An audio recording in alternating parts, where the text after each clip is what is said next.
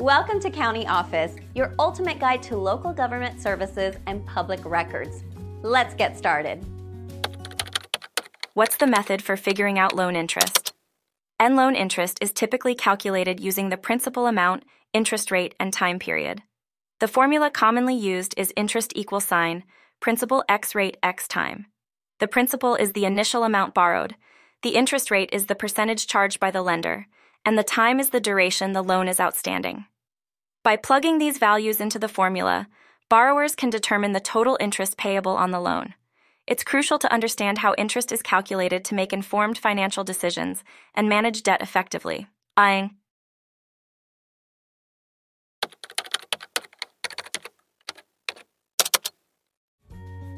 To learn more, check out these links, which you can click in the description below. And feel free to comment your questions. We're here to help. Thanks for tuning in to our video. Please like and subscribe and leave a comment below. See you in the next video.